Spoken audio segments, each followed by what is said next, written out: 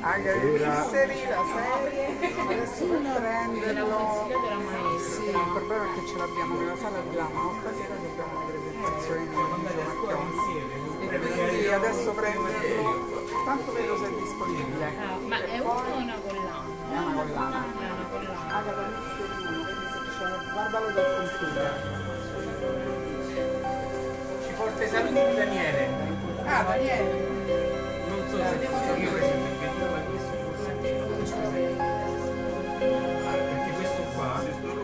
era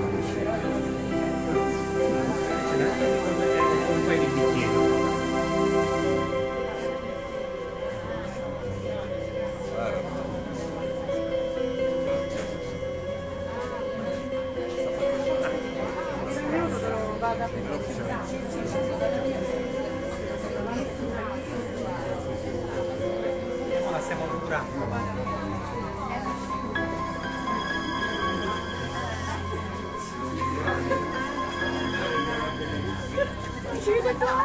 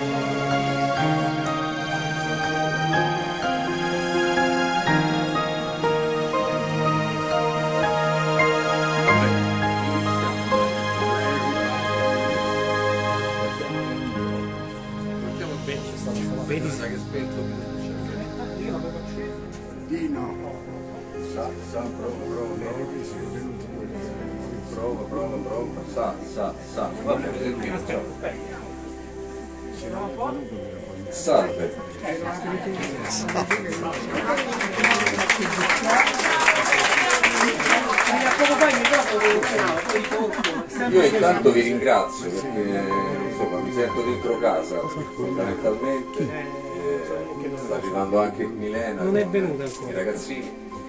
Eh, veramente grazie perché non, non me la- non mi aspettavo così tanta gente, diciamo, quindi grazie davvero. Eh, fa un po' caldo, quindi speriamo di non soffrire troppo per voi. Eh, siamo organizzati con i monumentali e tutto. Ringrazio ovviamente Peppe, ringrazio Dante, ringrazio l'ospitalità della libreria che fanno un, un lavoro incredibile per il territorio da tanti anni e per la cultura in Italia, Ricon- riconosciuti a livello nazionale, questo ve l'assicuro, perché con Rizzoli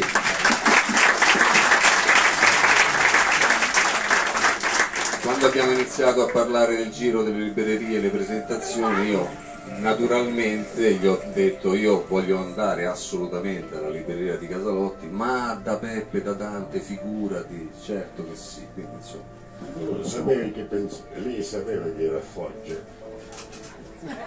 Ieri, ieri telefonavi, gli ho detto guarda sono qua, ma anche se fosse stato a Foggia. Scusa, grazie. Foggia. Sì, perché a Foggia c'ho il pubblico, invece qua no. Posso confessare? Certo, posso certo. confessare? mi siedo poi mi alzo mentre... No, perché io non ho mai parlato dei miei libri. E perché?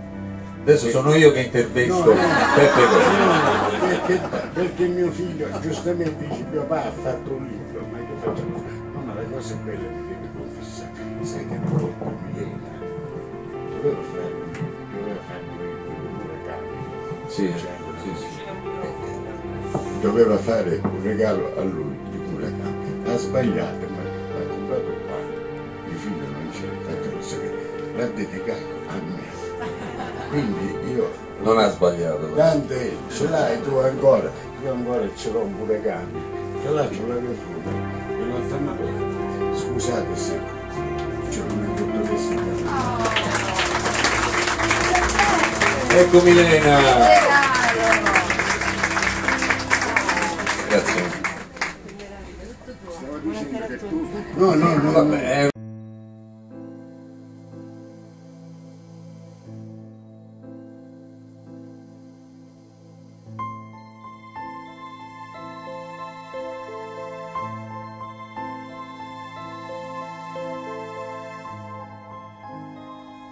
una presentazione un po' così, stiamo no, a è una casa. cosa stranissima, tu intanto puoi mettere in mano. Cioè, volevo dire questo, che tu hai- dovevi fare il regalo a un... hai fatto sbagliata a dire che, che me l'hai dato il mio libro che hai comprato qua dentro, un libro di Murakami, te lo ricordi? Che invece di regalarlo a lui l'ha regalato a me. Non sei sbagliata, l'ha fatta apposta. Sono cose che faccio, Dante, lo Sì. sai, mi conosci ormai, da quando sono piccola, queste sono cose che faccio. Lei è bravissima, io l'adoro perché è cresciuta come Marica qui, solo che lei mazza. No, vabbè, no, eh, aspetta, io preferisco. Preferisco parlare di Milena, c'ha ragione, è cresciuta qua, cazzo, ha fatto il giro del mondo come artista, è normale. Allora, a me mi hanno presentato così, pre- e Beppe Costa ha scritto chi sei tu, sei tuo padre o così, mi hanno detto, perché me l'avevano letto. Ora, fingere che io l'avessi letto, lo scorso, me l'hanno dato il libro. No, io ho letto, cioè, Lo presento io, lo presento io. Allora, eh, ancora grazie, mi alzo perché sennò quelli giù in fondo non, non mi vedono.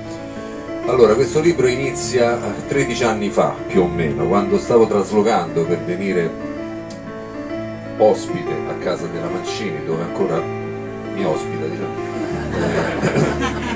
Eh, durante questo trasloco avevo tra le varie cose questa- questo scatolone eh, tra i tanti e dentro questo scatolone c'erano dei vecchi miei diari, insomma, di quando ero ragazzino. E sistemandoli l'ho riaperti e non li riaprivo da, da 20 anni, 25 anni insomma. Dentro questi diari ho riscoperto tante cose che avevo anche, di- anche dimenticato Eh, e eh, rileggere eh, di, di quel periodo della morte di mio padre, di questo ragazzetto di 14, 15, 16, 17 anni che soffriva in un modo incredibile, che amava e, e soffriva per l'amore adolescenziale, eh, fumava, cioè sigarette ovunque, racco- scrivevo di queste sigarette nel- al bar di Borgata dove sono nato io, insomma, so- io sono originario di Fidene. Eh, e quando sono arrivato qua infatti mi sembrava di stare dentro casa perché è uguale però. Eh, però insomma rileggevo di quel ragazzino, rileggevo di quei dolori, rileggevo di quegli anni in cui appunto l'adolescenza è il fatto è una delle età più brutte del mondo, insomma, no? Perché se non sei né carne né pesce, se, se- se non sei ancora un uomo, una donna, ma non sei più ragazzino, non- ti attraversano delle emozioni che non sei in grado di decodificare perché ancora non hai quell'esperienza del mondo, della vita. E quindi leggevo di questo ragazzetto eh, con una grande tenerezza, diciamo, nei suoi confronti e anche con una distanza degli anni che me lo faceva vedere come qualcuno che non ero più io, cioè come se stessi leggendo di qualcun altro, insomma, perché quel- quei sentimenti, quelle, quelle robe evidentemente non, non che non mi appartenevano più, ma non più. Insomma, una grande, te- una grande te- tenerezza. E allora all'epoca mi dissi, beh, però sarebbe bello riuscire a rimettersi in qualche modo negli anni dell'adolescenza. Eh, anche un po' per chiudere dei cerchi con la morte di mio padre, con delle cose, insomma.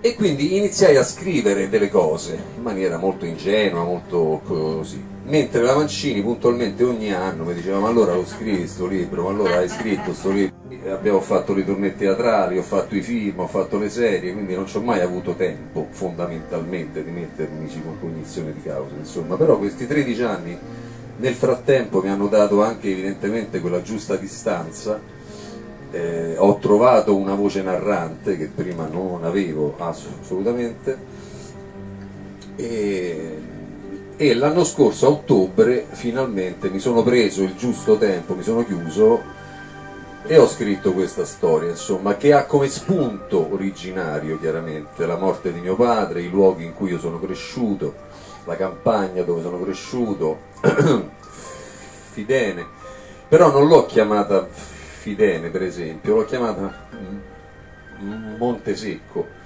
eh, perché volevo non volevo fare un romanzo realistico, perché chiaramente non mi frega niente di mettere in piazza le mie cose, insomma, e non penso neanche che siano in- i- i- interessanti.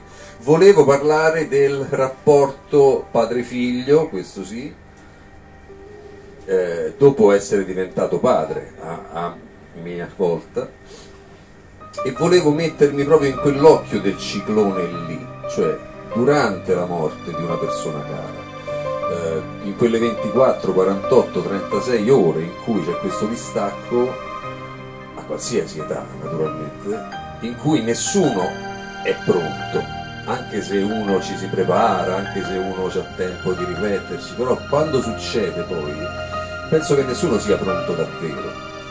E quindi mi interessava provare a mettermi in, in quelle tre notti, ecco perché si chiama così, in cui comunque si va avanti lo stesso perché la vita continua, il sole sorge sempre la mattina e in cui le persone vicino a noi sono fondamentali. Eh, magari qualcuno di voi anche avrà avuto la tradizione in cui se moriva qualcuno, i vicini di casa, i, i parenti, eccetera, ti portano da mangiare, ti assistono, ti aiutano, ti supportano in qualche modo.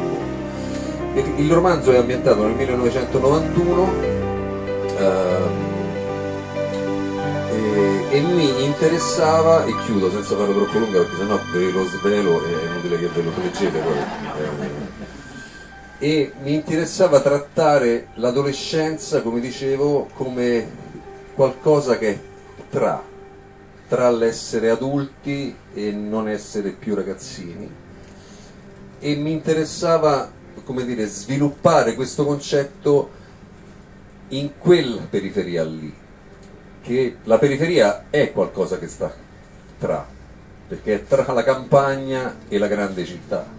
E nel 1991 ho scoperto, approfondendo un po', qualcosa me la ricordavo, però che è stato un anno, forse è stato l'ultimo anno dell'ingenuità di questo paese, nel senso che nel 1991 non c'era internet per esempio da nessuna parte, c'era stato il primo collegamento nel CNR, ma eh, per strada, nel- nelle case, negli uffici non c'era internet, ancora era una roba che nessuno di noi poteva immaginare dove ci avrebbe portato poi. 1991 ancora c'era uno degli ultimi governi di Andreotti, quindi proprio la prima repubblica. L'anno dopo è successo Mani Pulite ed è esploso tutto e da lì in poi, poi nel 94 c'è stata la prima elezione, la grande discesa in campo di Silvio Berlusconi, insomma la televisione c'erano solo quei canali lì, non c'era ancora eh, la televisione via cavo, non c'era ancora le piattaforme, non c'era niente, era un mondo ancora in cui le nonne facevano le frittate, e le uova le prendevamo tutti lì, eccetera, eccetera, eccetera. Quindi mi interessava sviluppare questo concetto di essere tra, tra un mondo che stava esplodendo e le periferie ancora erano le vecchie eh, borgate divise da pratoni infiniti fino alla grande città. All'epoca mi ricordo si diceva andiamo a- Roma perché era lontano, perché noi eravamo fuori, era- eravamo tra. E all'epoca, da quell'anno in poi, hanno cominciato a costruire i palazzoni, a costruire i centri commerciali e ad unire quindi le vecchie borgate con la grande città e fino a quando si è chiamata la, la periferia. Ehm, e poi mi interessava sviluppare le, dire, l'importanza delle persone che ci abbiamo vicino.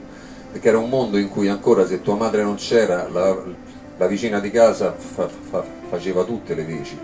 Quindi se c'era bisogno di darti da mangiare, ti dava da mangiare, se c'era bisogno di darti una maglietta di ricambio, ti dava la maglietta, se c'era bisogno di menarti, te menava.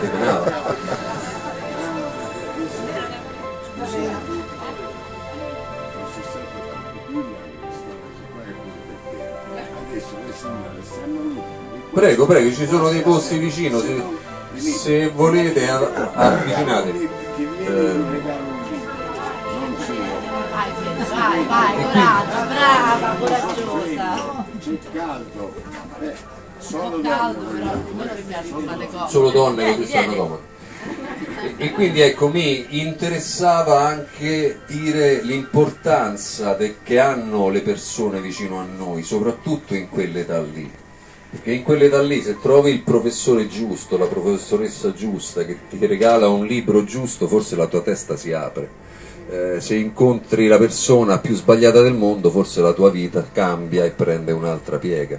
Ehm, e quindi mi interessava durante le tre notti di questo romanzo descrivere intanto una storia d'amore tra questo Andrea, che è il protagonista di questo romanzo, vede suo padre vivo per l'ultima volta nella casa di campagna, eh, esce fuori, c'è la macchina di suo nonno parcheggiato sotto, lui è stralunato, sofferente, bla bla bla, entra dentro la macchina di suo nonno, c'è un pacchetto di sigarette di suo padre, dentro il pacchetto di sigarette c'è una chiave, una chiavetta che Andrea sa che cosa serve quella chiavetta e che luogo può aprire quella chiavetta lì.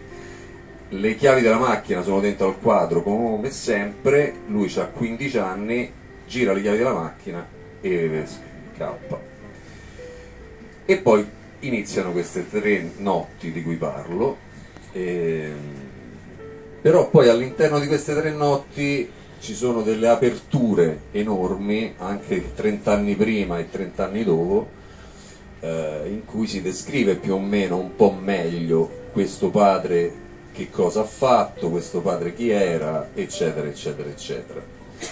Non sono mai scappato con una macchina, non ho rubato mai un- una macchina, non, non ho fatto quasi niente di quello che c'è scritto in queste tre notti perché è un altro esercizio per cui forse ci sono voluti questi 13 anni da quella prima idea, era anche quella di riuscire ad avere eh, un trattamento letterario di tutta questa roba qui e quindi di riuscire a creare una struttura letteraria, narrativa in cui ovviamente mi auguro tutti e tutte si possano riconoscere insomma per la storia d'amore, per le, per le a- a- amicizie eh, e poi e chiudo davvero, poi se avete domande parlate voi, però questa cosa ci, ci tengo molto, volevo indagare il tema della maschilità, il tema dei maschi.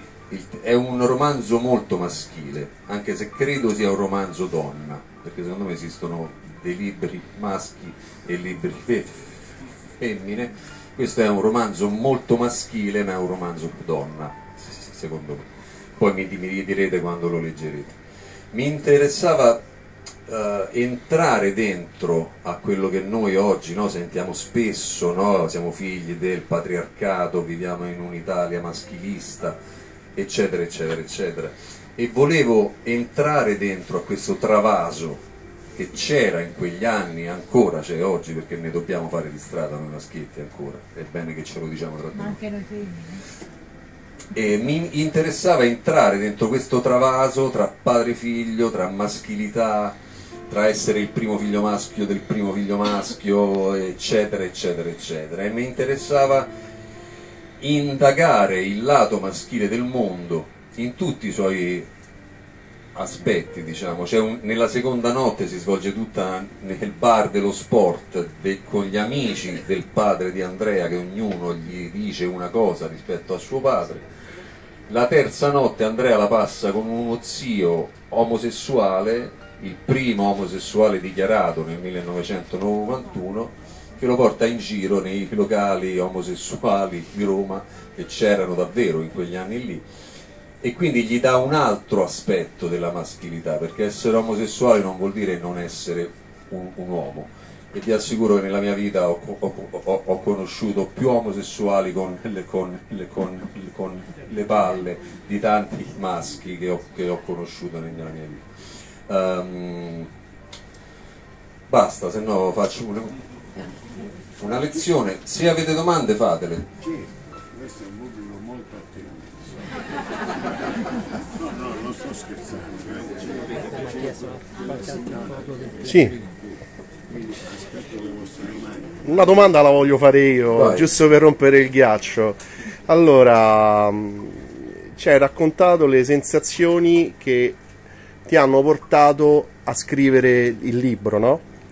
Quello che volevo sapere era invece le sensazioni che hai avuto nel momento in cui scrivevi il libro, cioè mano a mano che andava avanti la stesura del- de- dello scritto, che cosa provavi, eh, se provavi conforto o sconforto magari nel riaffrontare comunque queste sensazioni che hai passato nella vita e se questo poi ehm, ti è piaciuto come esperienza e se pensi, un- diciamo, uno scoop di farne già uno ulteriore, insomma, di, oh, Grazie per la domanda. Ehm, un attore, sai, è sempre abituato a lavorare da solo, no? Perché quando studi le sceneggiature, quando studi i, i- i copioni, quando fai la memoria, costruisci il tuo personaggio, studi da solo, ore ore ore ore.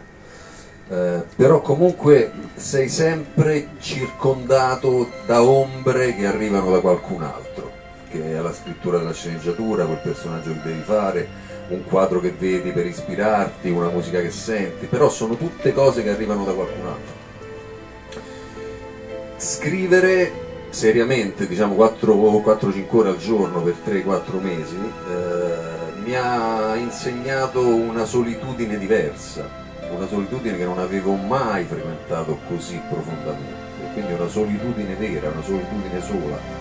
Eh, perché poi quando fai un film come attore, se sei bravo te la cavi, anche se il film non è riuscitissimo, è colpa del regista, è colpa della sceneggiatura, è colpa di qualcun altro. Qui è tutta co- colpa mia. Eh, quando scrivi anche? Sì, sì, poi questo lo direte voi, non, non lo so. Eh, però ecco, ho scoperto questo mentre scrivevo, una solitudine atroce a tratti, eh, meravigliosa a tratti. Eh, diciamo che questo romanzo forse è anche servito a, a perdonare tanto, a perdonare me stesso, a perdonare tante cose che, che- che- che ho ricevuto, ma come ognuno di, di noi ha un problema col padre, con la madre, cioè dire, sto, parlando di un archetipo che va avanti dal- da, da sempre e andrà avanti per sempre, sia come figli che come genitori, insomma. Ehm, ed è stato bello per perdonare, perché ci sono delle pagine in cui mi sono commosso mentre le scrivevo, eh, perché scrivere è anche una cosa che cioè scrivi e quando finisci di scrivere dici ma da dove è uscita questa cosa qui? Ed è comunque uscita da te, da qualcosa di, profon- di profondissimo, inconscio, dimenticato, sepolto chissà dove dentro di noi. Dare un ordine, dare un- una struttura e far sì che questa cosa, mi auguro, continuo a dire, possa diventare anche qualcosa che vi, fa, vi faccia leggere qualcosa di voi e vi faccia riflettere, emozionare, perdonare, eh, innamorare, non lo so, eh, è stata la cosa difficile, cioè mantenere le briglie di tutto quanto, di tutte le dinamiche, di tutti i personaggi e farla diventare una storia di tutti, chiaramente. Eh, c'è sì, l'idea di scriverne un, un altro sì, perché forse da grande io volevo fare lo scrittore, nel senso io mi sono iscritto in università quando avevo 18 anni, forse volevo scrivere. Poi per sbaglio sono entrato dentro una scuola di teatro, mannaggia a me. E diciamo, diciamo pure per fortuna, dai. per fortuna Sette. Siccome andavo dai preti, a quattro anni a San Paolo, ha girato un film dove io facevo Gesù, non Gesù Nato. E c'era mia nonna a proposito, ti leggo tutte le cose che hai detto mi toccano e poi ti ti guardo perché. E a un certo punto mi buttavano nel terreno mia nonna, eravamo nel 44, a un urlo. Quindi e io ho cominciato col cinema, poi sono andato a partire poi un po' la chitarra, lo sanno tutti, c'è qua e qui e già l'abbiamo fatto per dire. Beh, allora, e mi è finito a scrivere perché nessuno mi ascoltava. Cosa è successo? E questa è una specie di raccomandazione che sto facendo. Oggi succede, come succedeva anche quando ero intellettuale. Appena c'è un altro, un cacciatore, senza manco aver letto, sparano contro. A lei se era lo sai che da prima di sapere però volevo dire che sono Dieci anni dici una frase, no? Cioè non è tua, forse ti vedi gli angeli, come succede a me quando in giro, invece dici quando è bravo, no? Io mi scoppia a ci sono le registrazioni, non sto mentendo. Una sua amica, pensatrice, la notte della poesia, in vari parecchi posti, 20 giorni fa parlavo di Federico II, una sala bellissima, ricca eccetera. Allora sono uscito, oh, quando soccorso.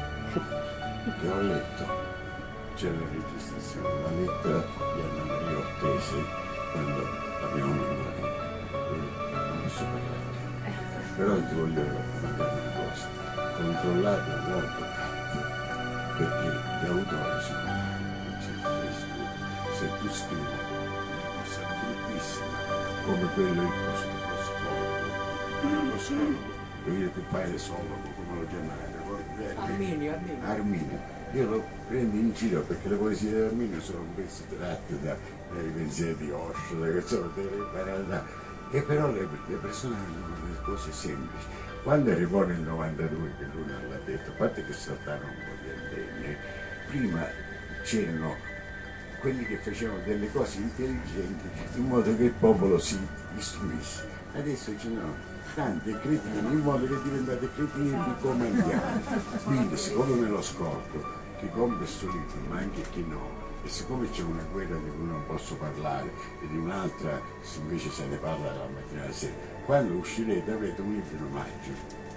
Comunque sia, sia fino alle copie passanti.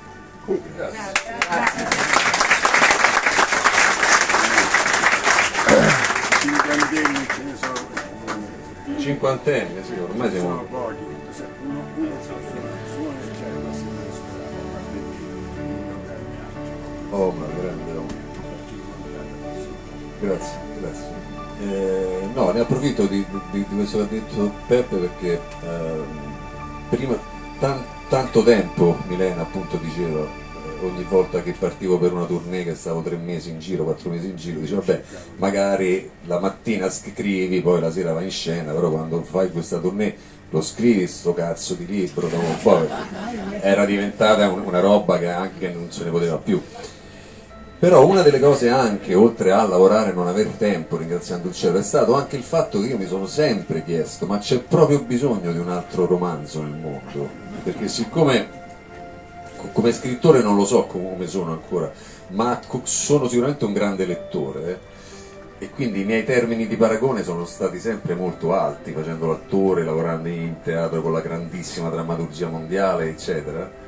E quindi per tanto tempo mi sono detto ma siamo sicuri che ma, insomma, ma che gli frega la gente di sentire questa storia eccetera però poi questa storia evidentemente il trattamento che ho cercato di farne letterario tramite la finzione con tanti personaggi inventati di sana pianta che leggerete e spero che ve ne inna- innamoriate io ho sempre cercato di mettere sempre in, in discussione ogni idea che ho, anche quando faccio dei personaggi cerco sempre di trovare altre 10.000 cose che stanno dietro, non mi accontento mai della prima idea. Poi se quella cosa che ho pensato continua a rompermi le scatole nonostante i dubbi miei e resiste e rimane lì, vuol dire che forse vuole proprio uscire fuori e vuole proprio essere detta, insomma. Quindi ehm, è un po' una giustificazione questa che sto, mi sto dando anche, insomma questo libro è il frutto di tante cose, anche, anche per- anche il frutto dell'amore per la grande, letter- della grande letteratura. Sicuramente sono uno dei 10.000 attori che scrivono l'ennesimo libro, questo, parto da questo diciamo.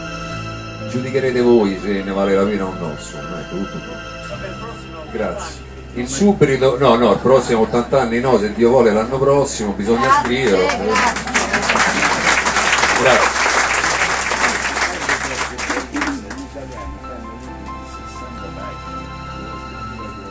Sì, sì, sì, sì. 288 pagine, tutte scritte da me, eh, non mi aiuta nessuno. Sì, sì, sì, sì. Grazie. Avete domande o passiamo con i film? Mi dica sì.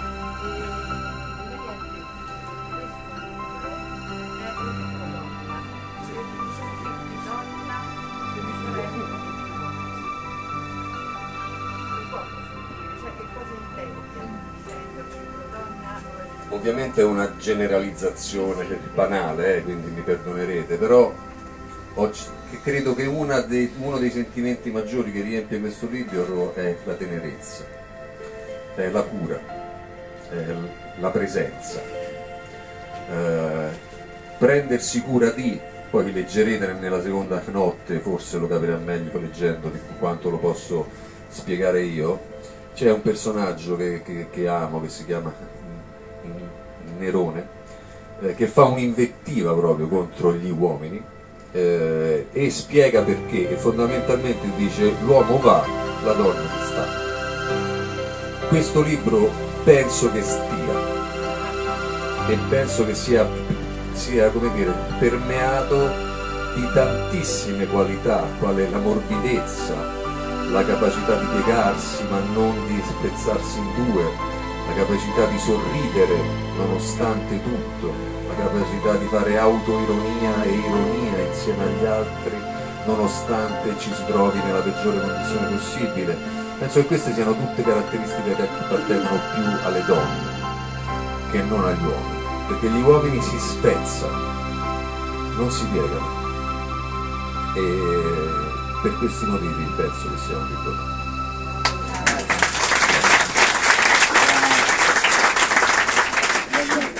Molte donne hanno tentato di fare il cinema dalla parte delle donne.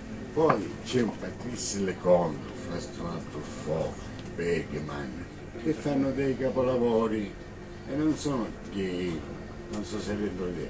C'è la moglie di Marco Pasqua che mi dice, "Ma come fai a scrivere come donna? Bisogna solo amarla davvero, non... Perché in fondo il fuoco della profilo è uguale per alcuni. Thank you.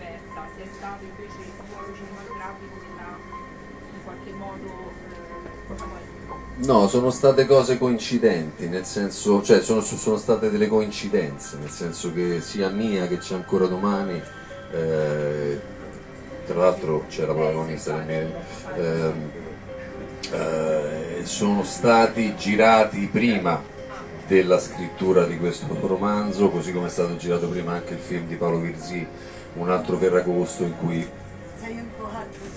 rappresentavo la peggiore specie di maschio possibile, insomma, o perlomeno ce l'ho messa tutta per, per- per farlo peggio possibile. Quindi, però credo nella sincronicità nella vita, cioè credo che eh, esistano come dire, delle energie che vanno in giro su cui ognuno di noi riflette consciamente o inconsciamente dei, dei temi che ritornano dentro di noi perché ci servono a mettere a posto delle cose o per delle cose che ci succedono in quel periodo e attraverso la messa in moto di energie inconsce fondamentalmente poi intorno a noi succedono cose che sono riferite a quello a cui stiamo pensando.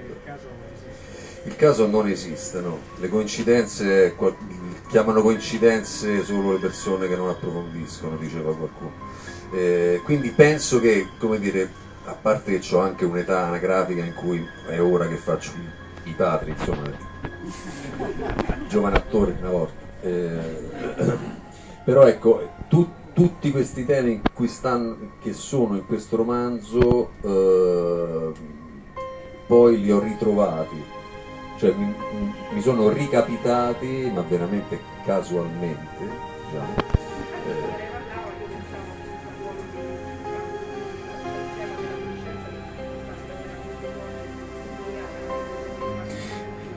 No, forse c'è anche il fatto che abbiamo due figli di 11 e di 12 anni, quindi insomma l'essere padre... Poi lo penso davvero con questa cosa qui, cioè io penso che noi maschietti dobbiamo proprio riparlarci tra di noi, perché oggi si parla tanto della sorellanza, ringraziato il cielo non se ne parla abbastanza mai, però non si parla mai di fratellanza perché noi maschietti non ci hanno insegnato mai a, a esprimere le nostre difficoltà. Io non ho mai sentito in uno spogliatoio di calcetto due uomini confidarsi e dire oh ieri sera non mi sei alzato. Mai, mai, mai. Non ho mai sentito un uomo confidare una propria debolezza, questo voglio dire. Non, non- non- non ho mai visto un uomo in grado di ridere in un momento di difficoltà. Non ho mai visto un uomo fare tante cose, chiaramente mi ci metto anch'io. Però ecco, secondo quello che volevo fare o che mi interessa molto da uomo del 2024, figlio del patriarcato e del maschilismo, mi interessa molto ragionare su che cos'è un uomo oggi. Ed è fondamentale prendere quello che di buono c'è ancora nell'essere uomo, perché non è che siamo proprio tutti da buttare via, insomma esistono uomini che amano, che amano le donne, però a parte il rapporto uomo-donna, secondo me c'è da capire noi che cosa siamo oggi e che cosa di buono possiamo insegnare ai nostri figli e che cosa di pessimo e atroce possiamo abbandonare ai nostri nonni, ai nostri padri che ringraziando Dio eh, a una certa ci salutano insomma ecco. grazie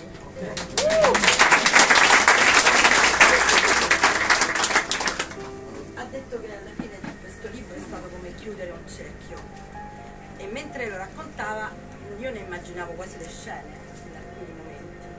L'ha mai pensato questo libro in una chiave cinematografica, teatrale? E se sì, anche dall'altra parte, quindi come regista, l'ha, pensato, l'ha immaginato?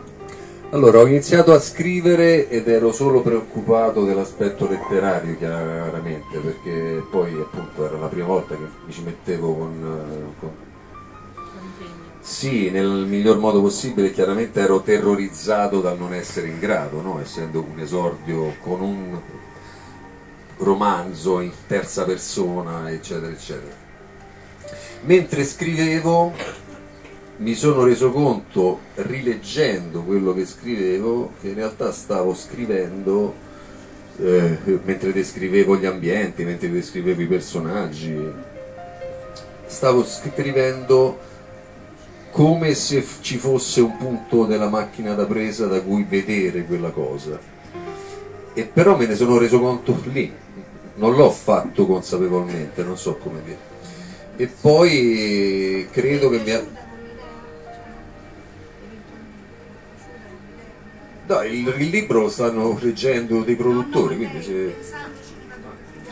penso che sarebbe molto figo, questo lo dico dopo che l'ho finito chiaramente, eh, perché nel romanzo vedrete che c'è tanta musica, nel romanzo eh, ci sono le luci stroboscopiche delle discoteche degli anni 90, c'è un bar con, quella, con quell'amicizia, quell'umanità, quel modo di parlare degli anni 90, perché oggi bisogna stare attenti a di qualsiasi cosa, non puoi dire niente, eccetera, eccetera. Politicamente corretto. Negli anni 90 no.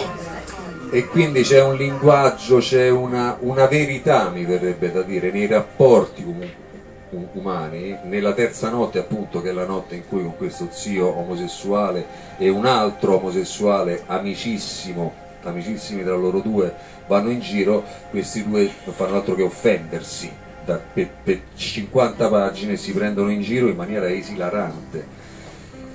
Volevo anche, e penso, ritornando alla domanda, se no mi perdo, penso che, potesse, che potrebbe essere bellissimo oggi fare un film con quelle luci, quell'atmosfera, quelle musiche, perché nel 91, che ne so, i Queen, i Rem, eh, Michael Jackson, Madonna, qualsiasi Elton John, per Prince, di- di- dite un gruppo musicale c'era e ogni musica di quegli anni quando la senti ti, ti- ti- ti veniva voglia di ballare, di stare insieme, di uscire, ti metteva la voglia di vivere perché era ancora un mondo tutto da costruire. Dal 92 in poi abbiamo iniziato a dire, eh però, eh, eh, eh, eh, e siamo arrivati a oggi. Lo dico di volte, sì, poi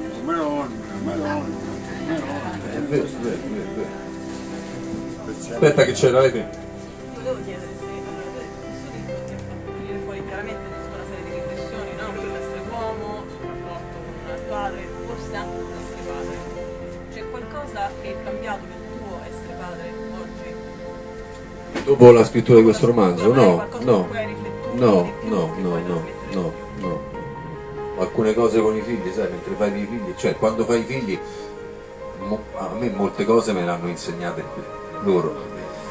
E poi ognuno è il, pa- il padre che è, insomma, nel bene e nel male, con tutte le domande del mondo, perché ovviamente fare il padre e fare la madre è il mestiere più difficile del mondo, in cui come, come fai sbagli, eccetera, eccetera.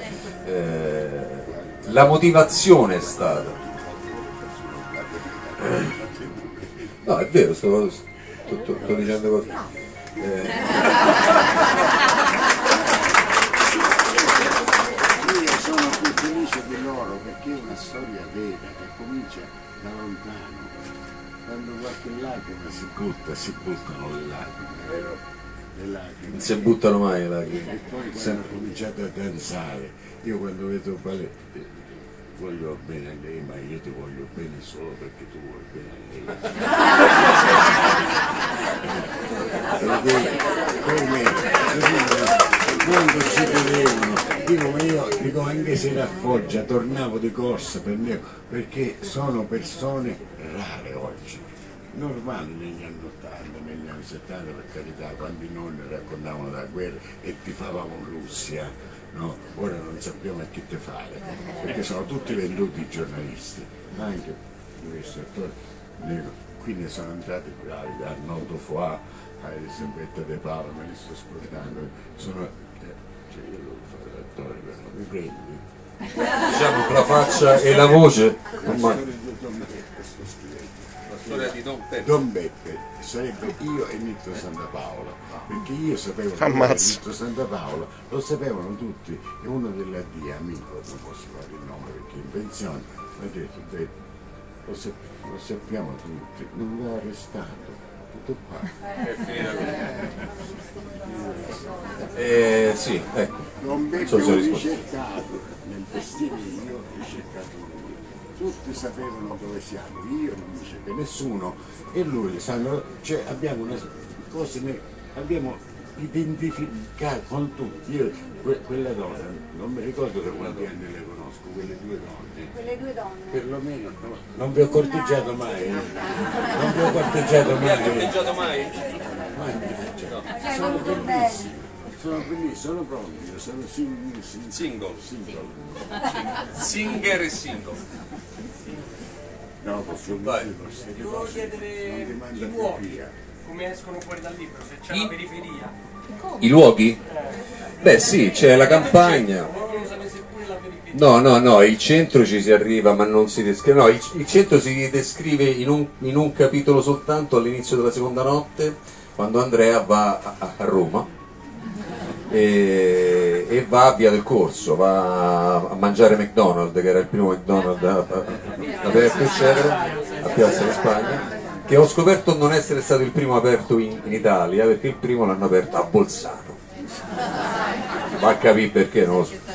Ehm, ed era interessante secondo me scrivere questa cosa proprio per far vedere la- lo sguardo di un ragazzetto cresciuto nella campagna di Via Salaria e cresciuto appunto in una borgata che vedeva il centro come quelli vestiti del centro si vedevano eh, che non si permette di entrare nemmeno nel negozio di Energy che c'era all'epoca perché dice io non c'entro niente con questa roba qui, cioè mi in- mi interessava descrivere appunto la differenza eh, di sensazione, di percezione di un ragazzetto cresciuto così, mentre vedeva appunto i primi, quelli che avevano i, cellularoni enormi, le macchine blu che gli passano davanti, le pellicce, eh, mentre quella nonna lì, quel nonno lì, quel padre lì, eh, sta- il suo padre sta- si sta spe- spegnendo da una parte in quella campagna che era fatta di sugo, che era fatta di galline, che era fatta di uova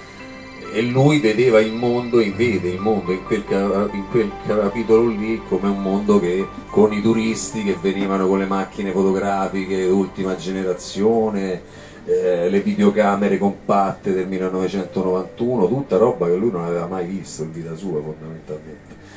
Poi c'è tanta la campagna, eh, che oggi dici ho la casa in campagna, uno si pensa no, no, una casa dei blocchetti buttata lì in mezzo alle, vacche, eccetera, eccetera, leggerete anche questo, e poi c'è la, la borgata che è il cuore pulsante.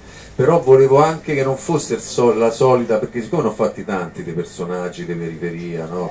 la retorica della periferia romana mi ha rotto i coglioni in un modo devastante, volevo descrivere un posto di frontiera, volevo descrivere un posto dell'anima, volevo che la- quella bo- borgata lì, come tutte le borgate di tutte le grandi città, di tutti i tempi, di tutto il mondo, eh, fosse un posto in cui le persone si parlassero, fosse un posto in cui c'era un- uno stato sociale ancora pulsante eh, e ci fossero dei personaggi meme- meme- me- memorabili. Perché poi ho scritto tutta questa roba qui pensando anche ad una favola. Non volevo fare un, un romanzo realistico, mi fa schifo la, la realtà se no non, non farei l'attore. Non mi chiuderei in un teatro a cercare di ricrearla. e quindi vo- volevo fare sicuramente un romanzo di formazione classico, un romanzo in cui c'è un protagonista che attraversa le avversità della vita e ne esce migliore. Eh, però volevo che tutto questo arrivasse anche come una, una fiaba, con i personaggi delle fiabe, come, come Pinocchio. E quindi c'è bisogno di, di Mangiafuoco, c'è bisogno del gatto e della volpe, c'è bisogno de- de- de- di tutti i personaggi classici che accompagnano i protagonisti fino a, a a sprofondare nella, nelle- nella pancia della balena nella terza notte e poi si rinasce. Questo è stato un po' il tipo di trattamento che ho voluto fare. Prego. Ti volevo chiedere quanto ha inciso, se ha inciso, i due libri di Pasolini sui ragazzi. Grazie di questa domanda perché il libro si apre con una citazione di Pasolini e pensa quella citazione lì io ce l'ho chiara da 13 anni fa è l'unica cosa che è rimasta ferma eh, perché volevo proprio mi piacerebbe che questo romanzo fosse letto da- soprattutto dai più giovani e dalle più giovani perché oggi noi ai nostri figli chiediamo tantissimo. I nostri figli si muovono in un mondo molto più complicato rispetto a quello in cui siamo cresciuti noi, con meno punti di riferimento rispetto a quelli che avevamo noi, gli chiediamo di essere maturi, gli chiediamo di essere stupendi, gli chiediamo di raggiungere gli obiettivi, gli chiediamo di, di- di- di essere maturi, gli chiediamo ogni tanto di occuparsi anche loro di noi, che è proprio l'inversione del mondo secondo me, e non gli diciamo mai che sono bravi, e gli rompiamo solo i coglioni sempre e hanno un mondo davanti da affrontare che è complicatissimo, senza punti di riferimento eccetera. Io invece penso che i nostri giovani siano straordinari e straordinarie e dovremmo stargli solo un po' più a fianco e toglierci ogni tanto dalle scatole e lasciargli una libertà anche maggiore per andare con le loro gambe. E quindi quella, quel, quell'incipit, diciamo, quella citazione da Pasolini è che non vogliamo essere più così sicuri, non vogliamo essere più così ma adulti subito. Se uno ha 14 anni, ha 14 anni e deve vivere la vita da 14enne, deve fare gli errori, deve sbagliare, deve, deve sperimentare la vita, perché se no gli chiediamo già di averne 25, 30, ma ce n'ha 14 ed è giusto che faccia il 14enne. Quindi que- quella citazione lì e questo protagonista che ha 15 anni, quindi nel pieno dell'adolescenza, ho cercato di metterlo nelle peggiori condizioni possibili eh, per fargli fare al meglio quello che è giusto secondo me che un 14 anni fa e forse nel 1991 era molto più semplice di oggi. Sì, ci si sbucciava le croste, delle- ci si sbucciava le ginocchia, ci si passava la saliva e basta. Oggi a 14 anni sono attivisti a bere la birra. Sì, oggi a 14 anni noi li dobbiamo mandare per forza all'Accademia dei Totti perché se no non fa il calciatore, perché se no quando hanno 8 anni fanno danza, danza classica, danza moderna, danza jazz, nuoto, nuoto sincronizzato, pianoforte, tromba. E quando cazzo si annoiano questi ragazzi?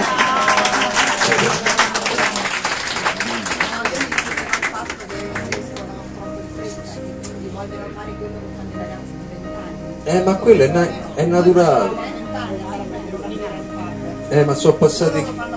Il mondo va avanti signora, il mondo va avanti signora.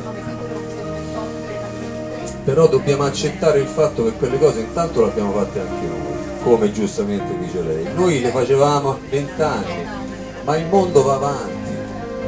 Noi, loro oggi con TikTok a 8 anni, 9 anni vedono la guerra di Gaza, vedono la violenza stessa che vediamo noi e ce ne abbiamo 50. Noi al massimo sentivamo l'eco dei telegiornali che vedeva nostro nonno nostro padre, ma non stavamo immersi in una realtà così cruda, nuda, violenta, complessa, articolata. Per forza crescono più velocemente e, sa- e conoscono meglio le differenze perché loro ridono di alcune cose e poi sanno quando chiudere quella cosa e quando si parla seriamente. E noi invece non ce ne rendiamo conto perché non siamo in grado di aprire e chiudere questi fatti così. Sono velocissimi, ringraziando Dio, perché il mondo è più veloce. E quindi prima si facevano delle cose a 18-20 anni e oggi si fanno a 14. Ma è così. Ma è, come i nostri padri, io sono sicuro che mio padre non capiva perché io stavo a guardare, non, non era Rai, e diceva guarda che stronzo questo che sta 14 ore a vedere ste sceme, ste vignottelle col culo de fuori, bla bla bla. È la stessa cosa, è uguale, solo che cambiano le che cosa guardano e i mezzi di comunicazione, ma i processi, le dinamiche sono le stesse sempre, secondo me. Magari noi eravamo in camera a guardarci la videocassetta con la mia Africa. Noi eravamo, esatto, bra- bra- bravissimo, però è, è- è così. Signora mia, se penso a quello che ho fatto io quando avevo 14 anni è un miracolo che sono vivo. Perché noi giravamo senza casco, senza casco due sul sì, tre sul sì, sul sciaetto che aveva un triangolino così con la marmitta modificata che faceva 80, 90, due senza. È il miracolo che siamo vivi noi. no? Loro sono molto più coscienti, prudenti, maturi, responsabili, coscienziosi. Se si embriagano, hanno 14 anni, ma che devono fare? De- devono tornare a casa.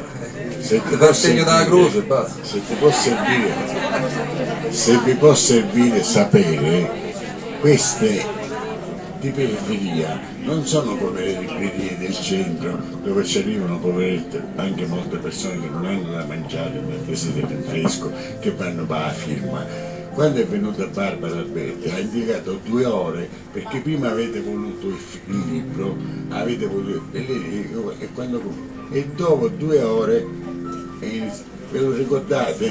Dice solo qua succede. Oggi mi ha detto, ma io non vendo una copia in giro, perché il personaggio è una cosa. Ora, questo non è un personaggio, non è un personaggio. La televisione si Grazie per per- caso.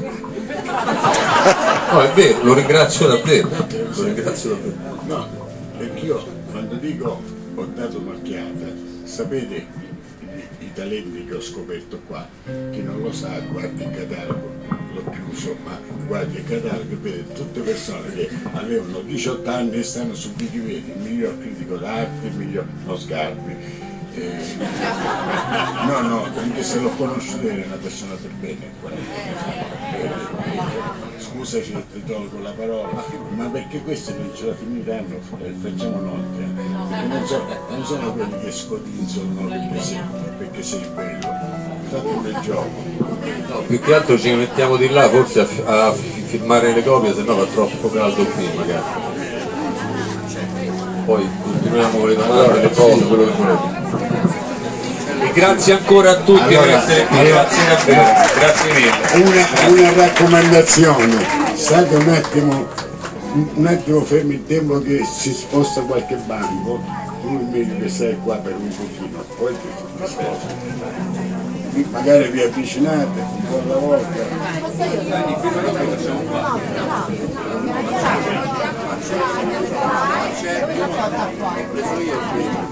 Ah, grazie.